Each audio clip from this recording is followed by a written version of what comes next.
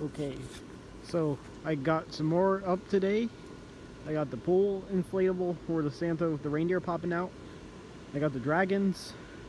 I got the swan. And I got the sleigh or the, with the reindeer.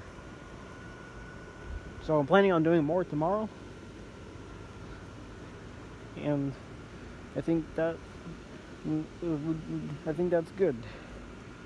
I think that that would be plenty.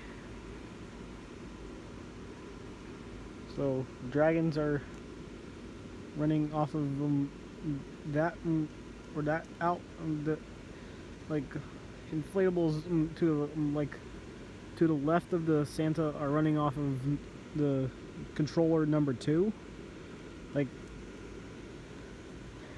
every like the dragon, the little or the somewhat big dragon and the snowman head, they um, and everything beyond that, they all use the out the second outlet. Well, all these ones use the first. So that's how it works.